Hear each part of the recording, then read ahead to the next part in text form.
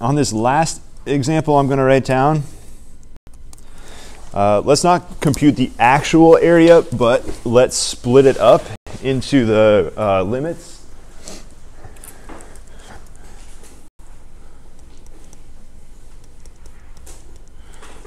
So we'll do a negative infinity to positive infinity.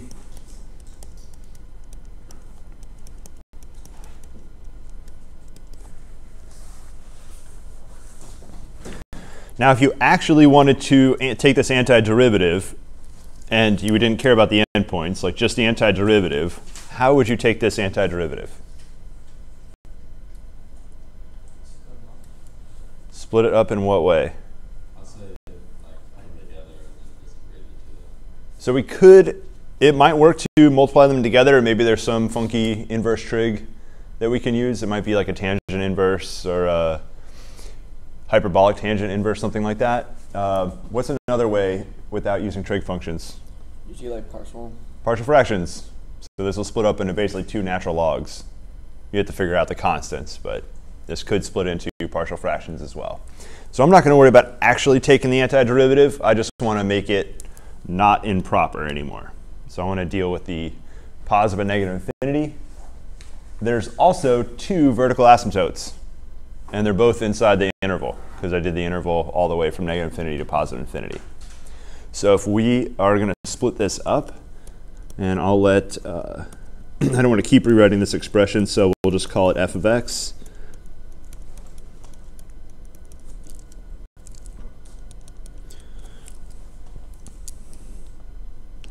So step one, let's deal with the uh, negative infinity, positive infinity endpoints of the interval. so I could go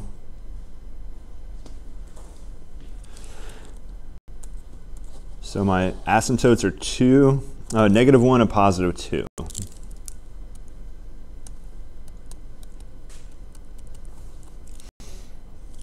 And of course the other uh, place I have to break it up is negative infinity and positive infinity.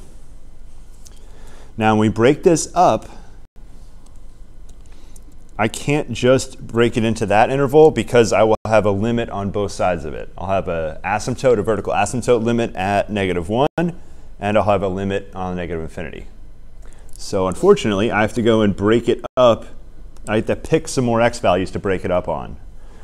The same is true. So this interval, I can't use that interval, the full one. I can't go vertical asymptote to vertical asymptote. So each of these intervals needs to be cut in half. We're going to have six.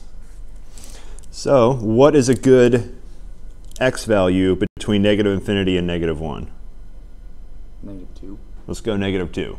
I'm just picking basically the easiest integer, the smallest integer that I can inside there. So we're going to pick negative 2. What's a good number between negative 1 and positive 2? 0. When in doubt, you always want to use 0. And then what about between 2 and infinity? 3. All right, so we're going to have six intervals now.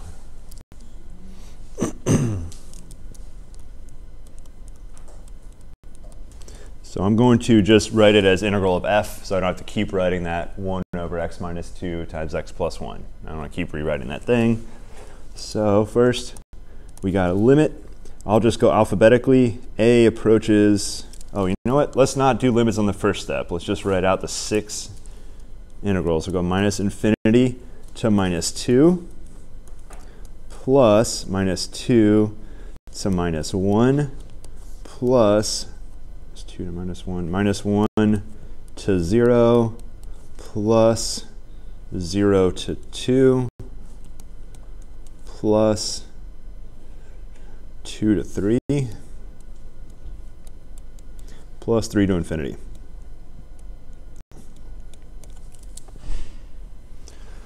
All right, so there's all six, and each one of them is going to get a limit. We just have to pick the correct endpoint, and for the vertical asymptotes, we have to decide left or right. So you can either follow along what I write or just write it out yourself.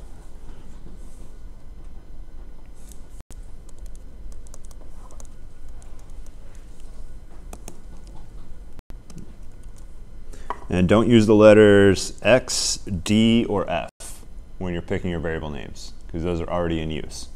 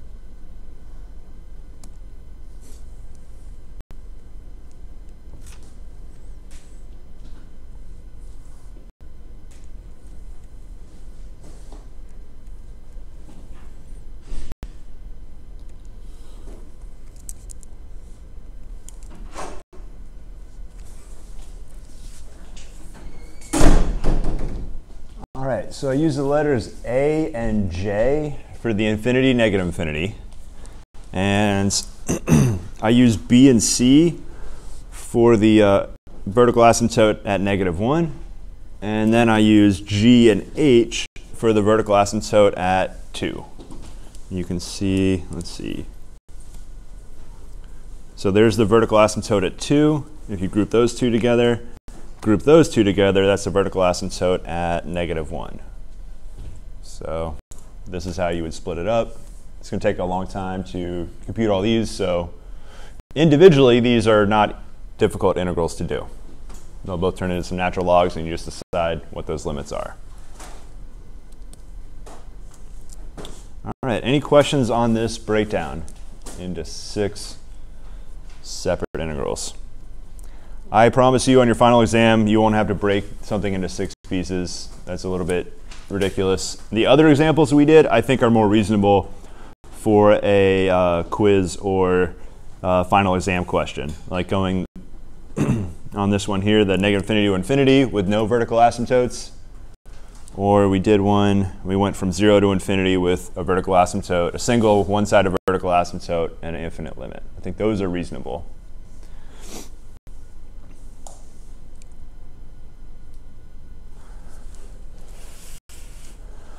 So this is the end of improper integrals. You just have to do some practice now. And we're going to move into chapter 10.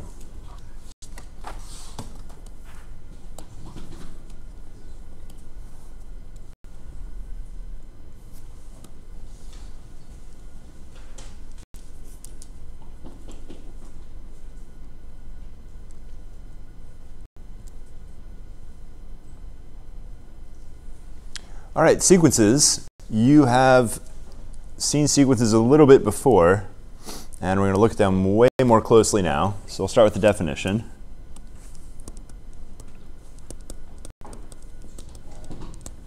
All right. Most of you have taken some high school English classes, and so you could probably define sequence in English. Anybody want to be brave? A sequence? In, in cards, I do. Like a, it follows something, like a, so yeah, it follows. Well, So it's basically whatever he just said. an order, I s- agree. some type of uh, grouping of things, but it has an order, right? This is, this is first, this is second, this is third. So that's pretty much what it means in math, except we're gonna the things we're gonna look at are numbers. So this will be a list of numbers. Oh, No, an order list of numbers. That is important. Order list of numbers. quick question, kind of off the topic of this section, but um, I kind of spaced out a little bit on the six point, the previous homework, the last homework that was due like Sunday. And I only did like four problems just because I forgot about it. Is there any way you could like reopen it for like today so I can like work on it? Uh, sure. Talk to me after class. Yeah, I didn't get it either. All right. So an ordered list of numbers, and uh, you can have finite or infinite.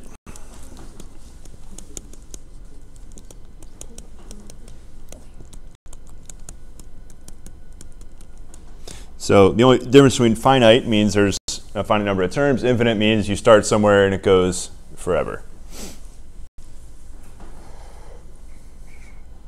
And another uh, definition we need is a factorial.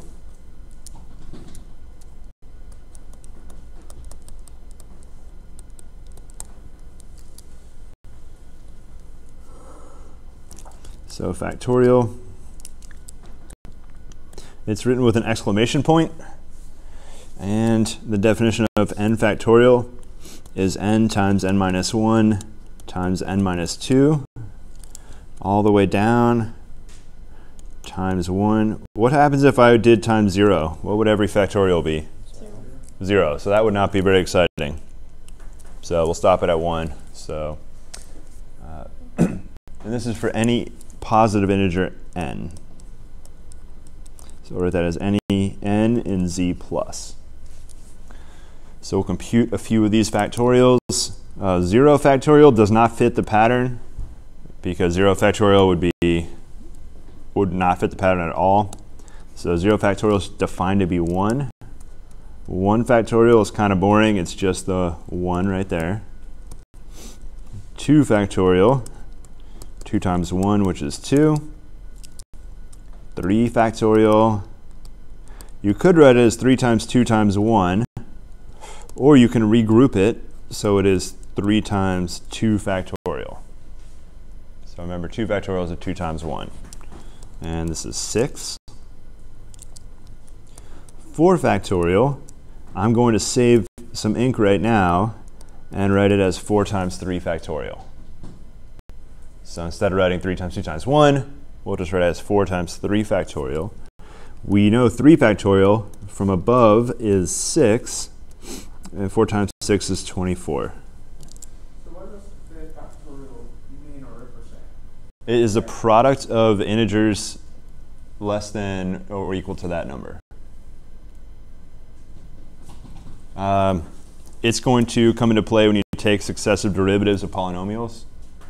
For example, you'll be multiplying by decreasing powers, basically. So it shows up if you're taking like the eighth derivative of an eighth degree polynomial. You'd multiply by like 8, 7, 6, 5, 4, 3, 2, like that. All right, so go ahead and get the next three factorials, 5 factorial, 6 factorial, and 7 factorial. And don't multiply 5 times 4 times 3 times 2 times 1. Just do 5 times 4 factorial. You already got 4 factorial. So compute these right now.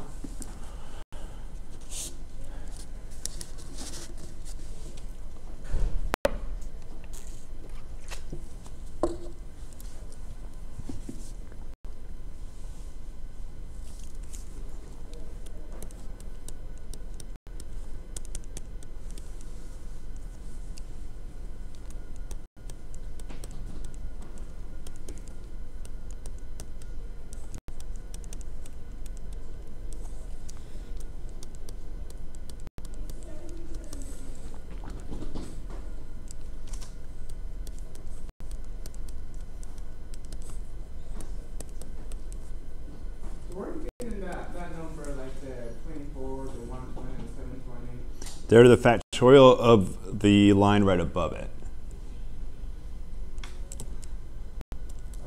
So that 6 goes right there. It's it's the it's the 3 factorial basically. So I'm writing fact I'm defining them recursively, meaning I'm defining them based off the one that came before. Gotcha. Okay. Instead of multiplying those numbers out all over again. I already did that work. So why is zero factorial one? Uh, because it works out nicely in computations, it does not fit the pattern, so it's basically arbitrarily chosen, but it's chosen as this number because it's the most useful. Uh, there is a generalized factorial, it's called the gamma function.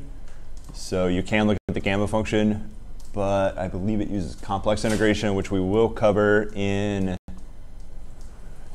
what is that class? I'm blanking on. Differential equations. So we'll look more carefully at the gamma function in differential equations. So it'll be defined, it's actually defined for all, I believe all real numbers, uh, but it gets quite ugly for non-positive integers. You 50 40 50, 40? Yep. All right. You could, of course, keep going, but at some point, it's going to become too tedious to do by hand. But I do want you to pay attention to at least the first six factorials because you may see the number progression 6, 24, 127, 20, and now you'll know you're looking at a factorial as opposed to some other pattern. All right, those are factorials. Let's write out the first. oh, so this will be sequence notation.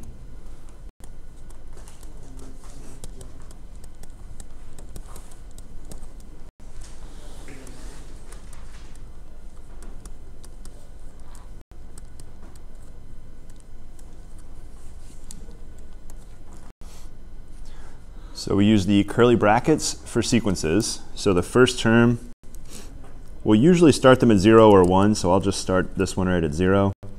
So the first term will be A0, second term A1, A2, dot, dot, dot, up to AN. So it's just a convenient way to list out lots of terms as long as they follow some pattern that you can write down. And if n is infinity, obviously it would just go dot, dot, dot. There'd be no last term. So if you see infinity up there, which I'll write now, so if you go ak, k equals 0 to infinity, that's a0, comma, a1, comma, a2, dot, dot, dot. And just remember that dot, dot, dot means continue the pattern. So there should be a pattern and just keep going. You generally need three to establish a pattern. So I usually try to write three terms unless the pattern is painfully obvious. These ones you could probably just write two, A0, A1, dot, dot, dot, and it should be pretty clear what comes next. It's not okay to just write A0, comma, dot, dot, dot. That's not enough to establish a pattern. For all I know, it's followed by a bunch more A0s. So our first example, write out the first four terms. Uh, the same thing as the factorial thing? Or what? no, they're, so what you may see, actually I'll throw a factorial into this next example. What's the difference between your patterns and your sequences? Because a pattern even follows like a regular thing, but I see that these sequences are also following kind of like a pattern. So are, are they like the same type of thing, like a pattern and a sequence? Yeah, so we'll look at sequences that have patterns. Okay. Uh, so I want you to write out the terms of these sequences. The first one, we'll do negative 1 to the k times 1 over k factorial. And we'll go k equals 0 to 4. So it looks like there's four terms, but as you write the terms out, you'll find that there's not four terms. So I'll write the first term out. Negative 1 to the 0, 1 over 0 factorial. And when I reduce this down, 0 factorial is 1. Negative 1 to the 0 is also 1. So our first term will just be 1 right here. So the second term, negative 1 to the first, 1 over 1 factorial. And go ahead and write the next terms until you get to the last term where you got 4 as your last uh, k value. And then simplify them down on the next line.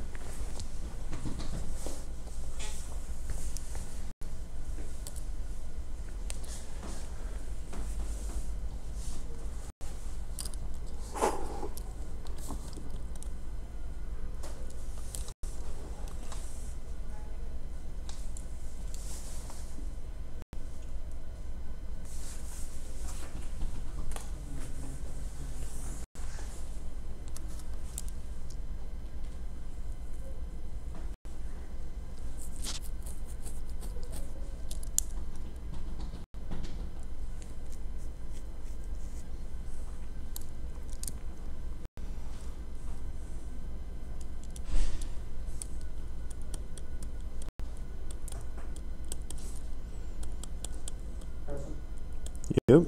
uh, so when you go to four, are you are you starting at zero and going all the way to like this? We're sto- so our last term will be 4. Okay. Will be k equals 4. Alright. But that doesn't mean there's four terms. I know like programming, like you say four, it starts at zero and then ends at three, something like that. So on this, you're using the initial and the final value. So whatever it looks like, it looks like there should be four terms. But because you're starting and ending on terms, you actually get an extra term than what it looks like. So if you did 4 minus 0, obviously that's 4, but there's five terms because you start, you count the first and the last term.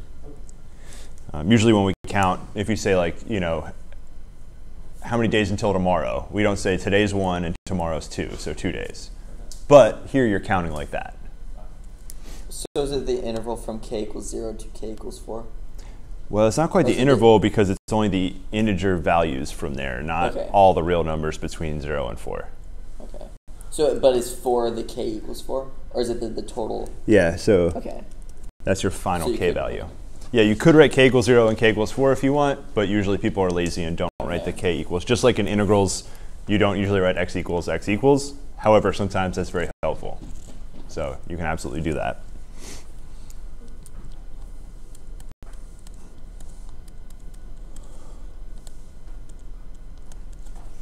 All right, so you should have gotten 1, negative 1, 1 half, negative 1 half, negative 1 sixth, positive 1 24th. So you can see the factorial pattern in the denominator, except you don't really see it so much on the first two. What does the negative 1 to the k power do? Alternates sign. So that alternates signs, goes positive, negative, positive, negative. If it was uh, k plus 1, it would have gone negative, positive, negative, positive. But either way, that negative 1 to a power is going to alternate signs. So write that down.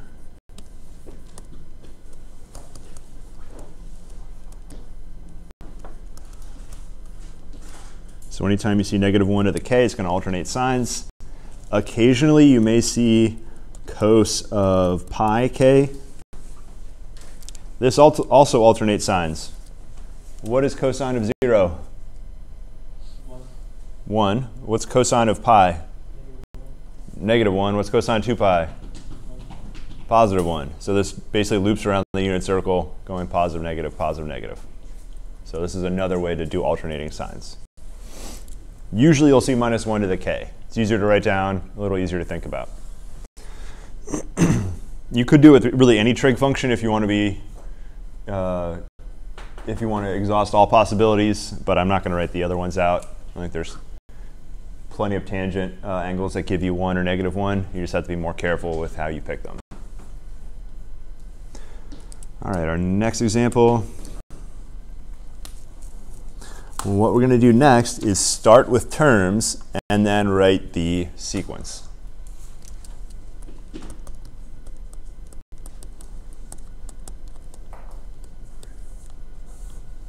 Wait, so is that our answer? Is just those six or five and six? Yep, right out the terms. So that's all we were doing. Alright. Now, that your surprise is probably because this question's too easy to put on a midterm or a quiz. I totally agree. It's a trivial question. So you will not see this on a quiz. You may see it on one homework uh, problem or two, but it's not going to show up on your uh, quiz. Yes, there is. now, if you were in uh, middle school, I think this would be a reasonable question put on your quiz.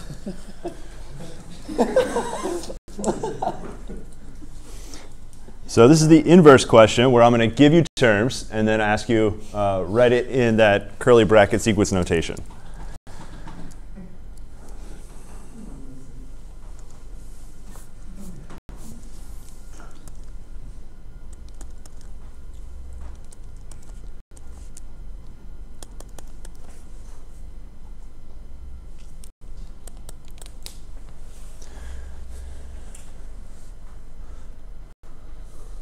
So first thing we have to do is notice the pattern.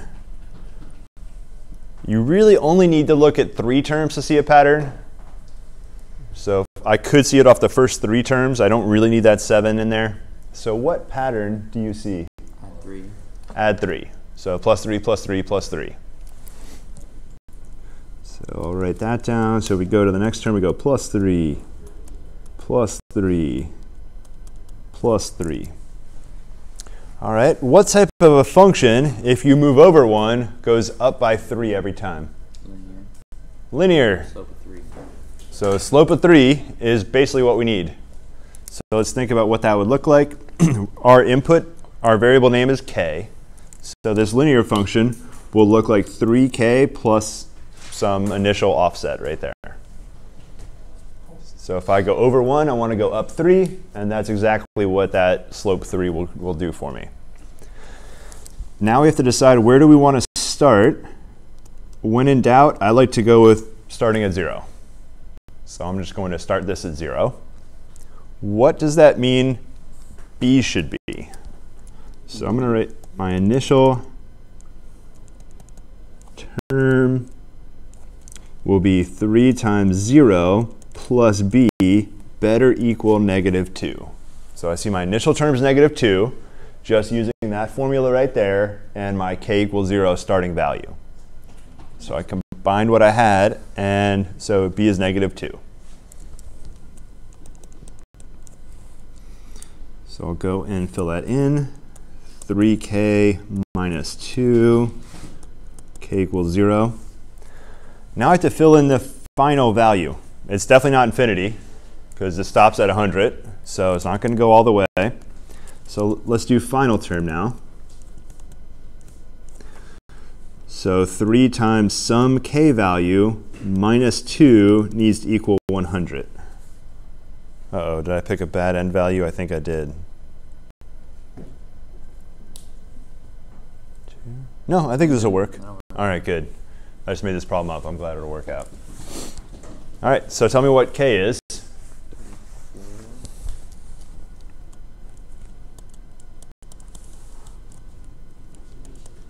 I it's 34. 34. 2. Seems right. 34. Does the sequence notation, is it always going to start at zero? No, I could start it at, at 1. Would have been reasonable.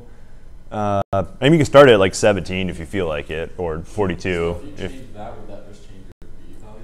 yep, that would change my b quite a bit, yeah. So if I started at 42, obviously b would be a pretty significant negative number to compensate for that huge value I would get off the 3k. So you can get multiple answers, Correct. depending on which one. But your K and B just have to be in correct sequence.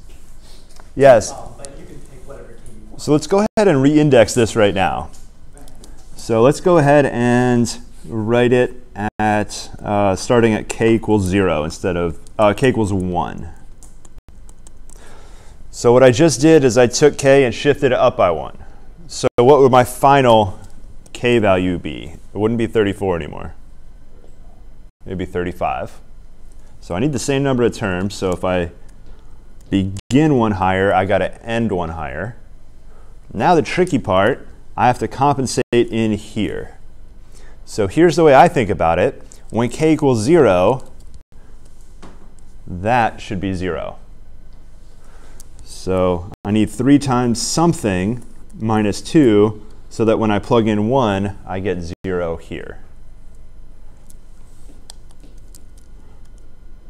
So I need k uh, minus 1.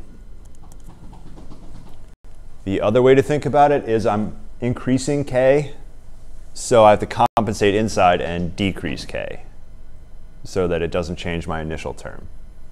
So if I don't do that compensation with the minus 1, I'm not going to have the exact, I'm not going to have the same starting term. My sequence will basically be shifted. And you can do algebra, of course. So this is 3k minus 3 minus 2, so 3k minus 5. So we got 3k minus 5 from k equals 1 to 35. And it's a good thing to do, just check your initial term and see what you get. When k equals 1, we got 3 minus 5, which is negative 2. So you can always recheck when you reindex, just your first term. All right, so that is reindexing right there. This is what we call arithmetic.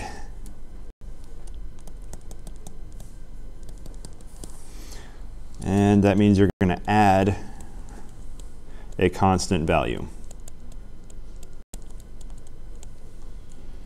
to get the next term.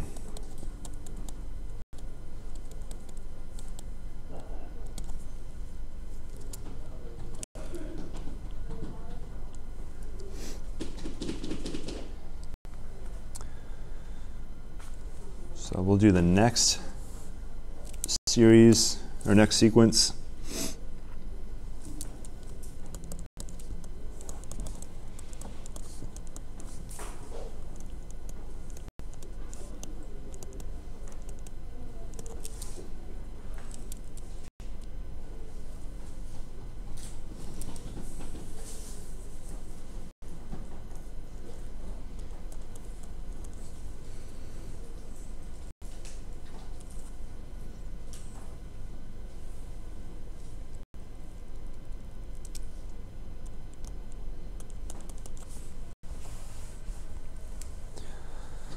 So is this sequence going to be finite or infinite?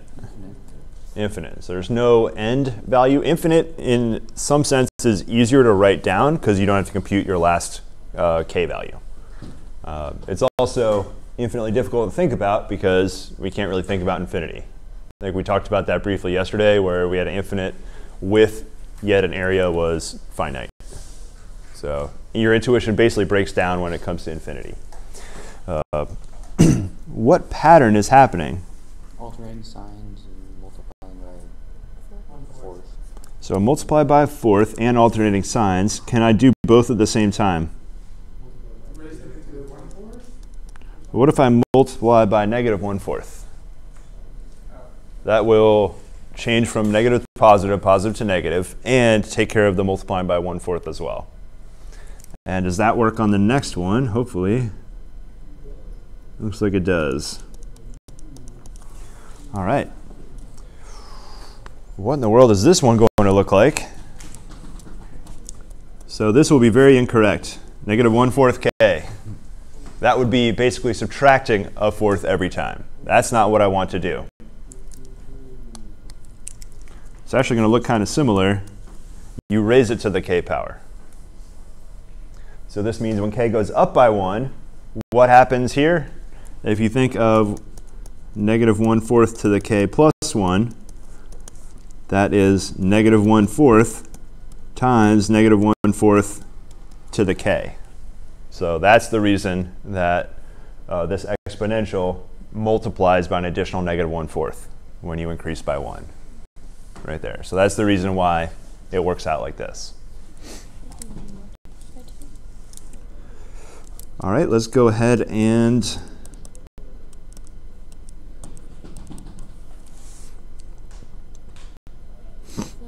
Let's see if we can get this to work out.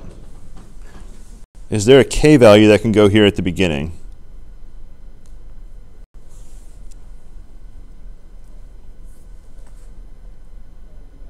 Let's make an equation. So let's do an equation like we did last time. Uh, one, one, negative 1 fourth of the k equals 2. Uh, best we can do is a log's kind of scary because that's negative. You'd move the base. We can't use a log here. Wait, so can you guys just set k equal to zero and find out what your like offset should be? We can try that. If you set k equal to zero, you just get one. So then to get from one to two, it'd just be a plus one. So we can try that. Let's go negative one fourth to the k plus one. We'll try that.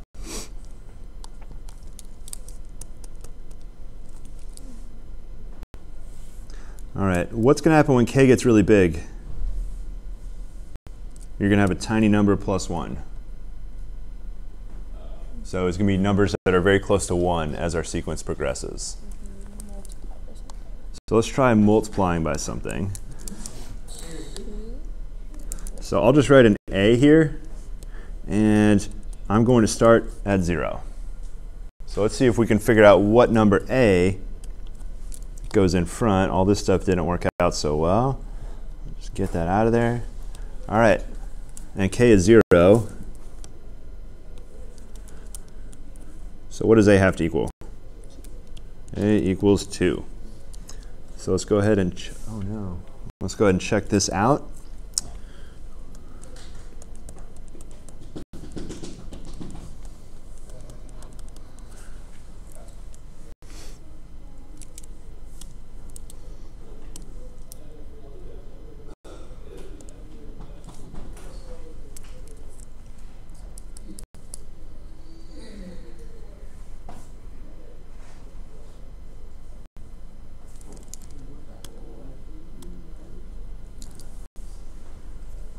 All right, test out. Let's do the first two terms.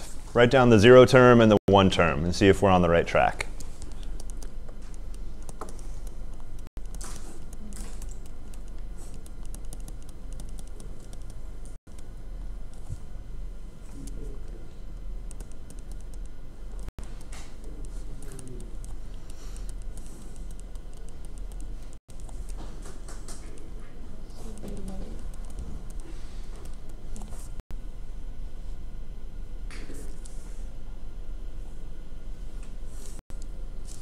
And we'll go for the third term also, just to be sure.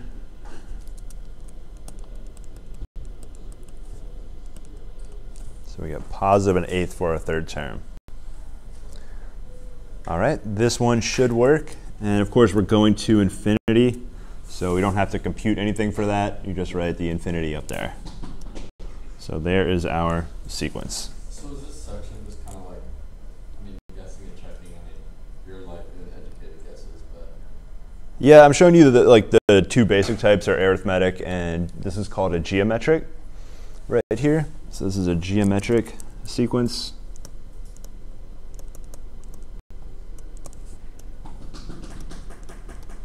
Means you multiply by, um, they usually use the letter R to uh, get the next term.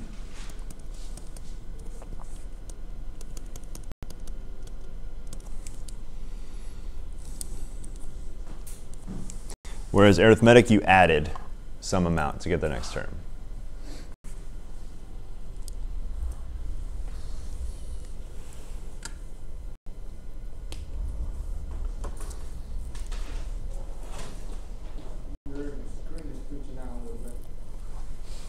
Yeah, I don't know what to do about that. Much better.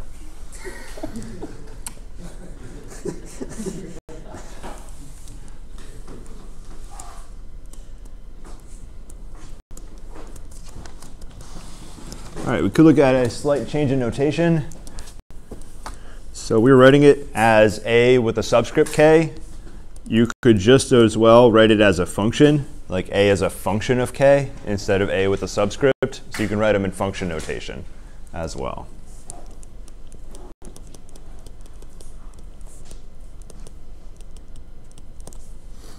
So feel free to write either way.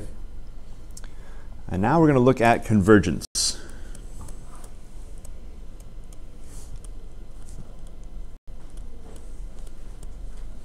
So this will be convergence of sequences.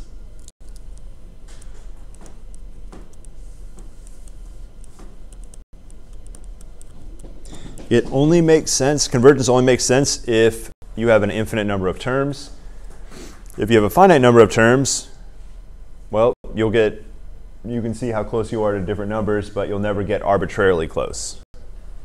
Uh, but with infinite sequence, so this is only for infinite sequences.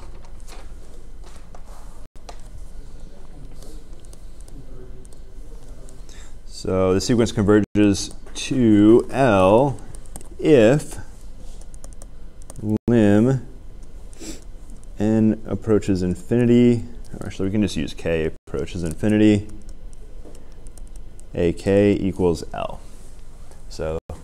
The idea of convergence of a sequence means the terms get closer and closer to some number L.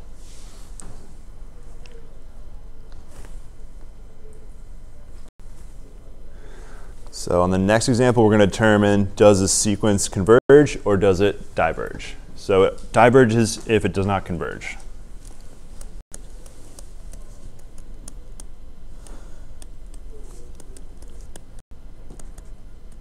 Okay, so real quick, just for like, uh, so it's saying that if as you get closer to infinity, it gets closer to like a certain number of each k, then you can just rewrite it as a limit.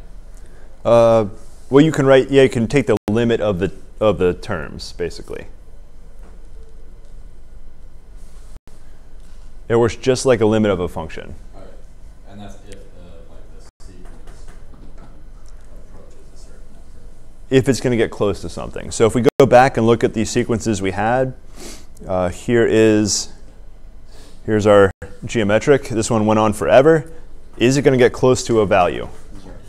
It's getting close to zero, right? It's going to go. I mean, it goes positive, negative, but every time you move over, it actually gets closer to zero.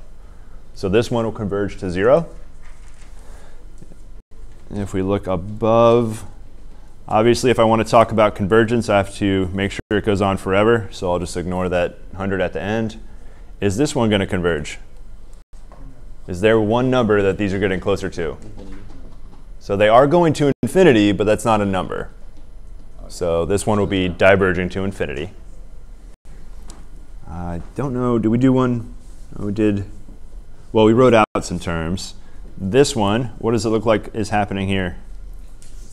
close to zero Close to zero on this guy. So they are jumping signs plus minus, but they're getting closer to zero. You only have them for the rim multiplication. Uh, no, you can have them. Uh, actually, that, that first one had a factorial, which I guess you could say is multiplication, a multiplicative pattern, but slightly different than the geometric pattern. Will they ever approach a number other than zero? Oh, they can definitely approach a number other than zero, yeah. Basically, if I added like five to all those terms, they would be approaching five instead of approaching zero. Oh, gotcha. Can you zoom out real quick? That. thank you.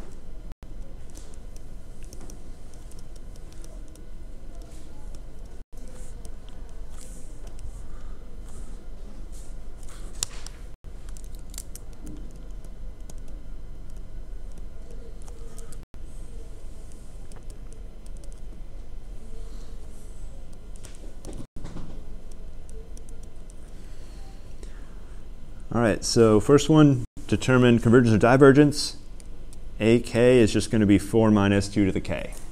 So all you have to do to determine convergence or divergence, take a lim as k gets really big, k approaches infinity, of 4 minus 2 to the k.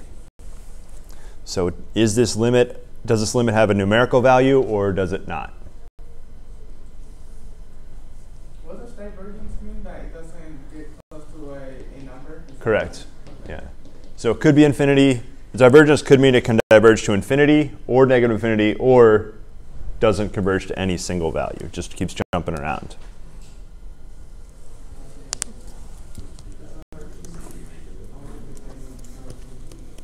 So this one will be 4 minus infinity, which is minus infinity. And that's not a number. So this one will diverge. Are there any similarities to the word divergent? with uh, vibrations? Yeah, it's the same word. It is. He was thinking about the movie. Yeah. Oh, I don't know. I don't know about movies. I mean, I'm from right next to Hollywood, but I don't, not into it. Oh, I I got a question about April, please.